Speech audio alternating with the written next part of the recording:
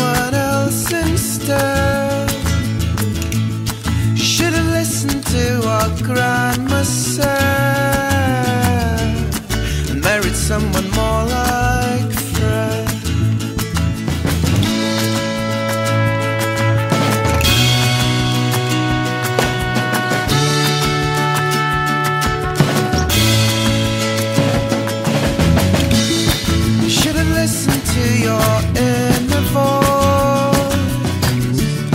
While you had time still it's your heart.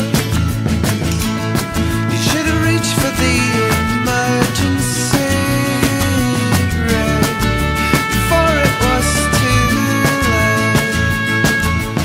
Ah.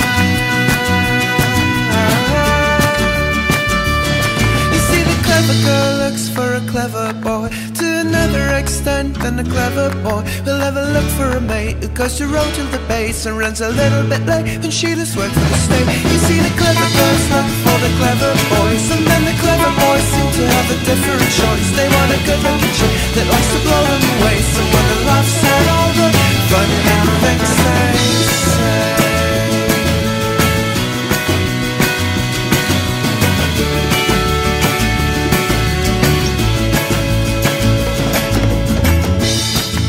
a friend who said this man a